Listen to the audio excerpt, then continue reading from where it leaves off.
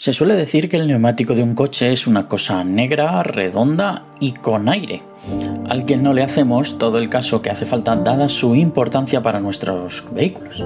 Bueno, pues todo esto es realmente así, o al menos lo era.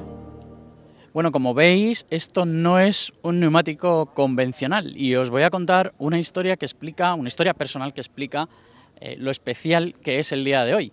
Yo llevo más de 20 años eh, trabajando en la prensa de motor. Habíamos visto muchas veces un neumático sin aire, pero nunca lo habíamos probado. Hoy Goodyear, en su centro de pruebas de Luxemburgo, nos va a dar la oportunidad de probar, quién sabe, si el futuro de los neumáticos. El hecho de que por fin podamos probarlos ya nos da una pista de que quizá estén más cerca de lo que pensamos.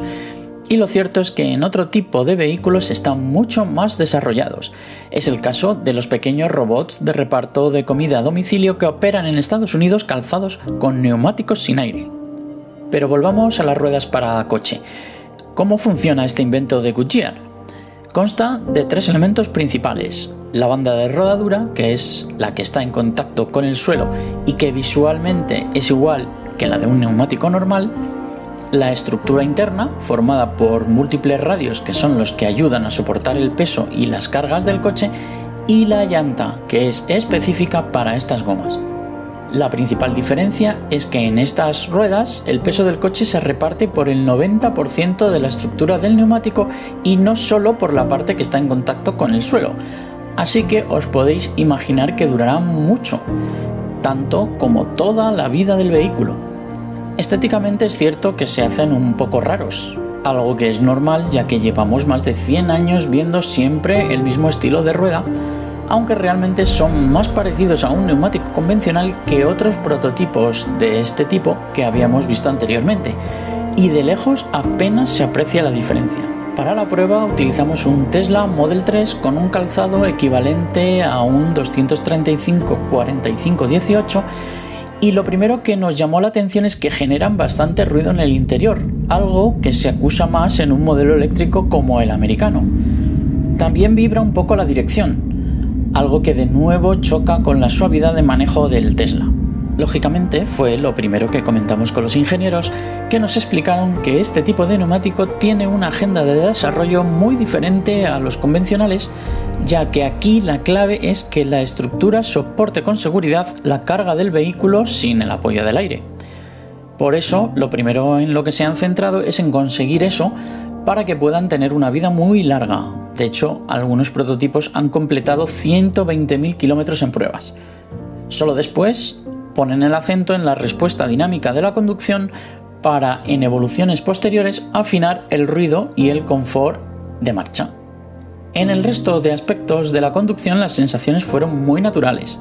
La dirección mantiene la misma dureza que con los neumáticos con aire y la pisada del coche es muy similar, quizá algo más rígida. El Tesla también respondía bien a los giros sin balancear en exceso y tampoco cabeceaba de más en las frenadas. En cualquier caso, todas estas conclusiones se refieren a este prototipo que aún tiene que ser pulido. Y de hecho, nos confesaron que ya estaban probando otro con un confort de marcha más conseguido y con otras propiedades, como que se pudieran sustituir los radios que se rompan. Seguro que, como yo, os estaréis haciendo dos preguntas principales sobre este producto. La primera, ¿cuándo lo veremos en nuestros coches?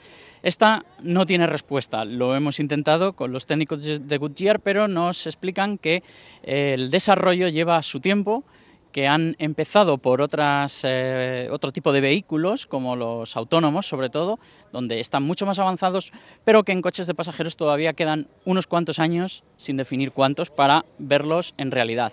La segunda, ¿cómo se llamarán?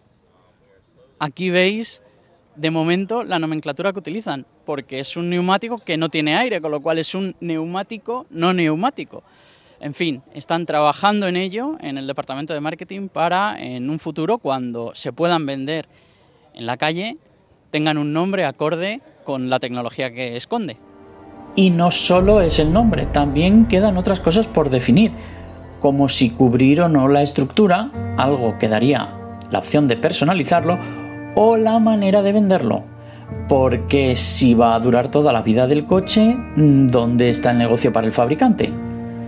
En eso también nos cambiará el concepto, ya que es muy probable que paguemos no por adquirirlos directamente, sino por los kilómetros que recorramos con ellos.